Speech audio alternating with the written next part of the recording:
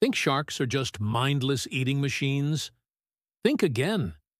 Did you know some sharks can actually glow in the dark? And the hammerhead? That crazy-looking head gives it a 360-degree view to spot prey from any direction. There's a whole world of sharks out there that are totally misunderstood. The whale shark, the biggest fish in the sea, is a gentle giant that just filters plankton. Then you have the short fin mako, the cheetah of the ocean, hitting speeds over 40 miles per hour. What's even crazier? Sharks don't have a single bone in their body. It's all cartilage. They can also sense the tiny electrical fields of other animals. And their teeth?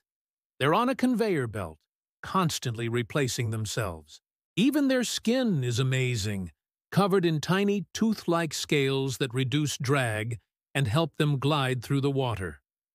These incredible animals are vital for keeping our oceans healthy.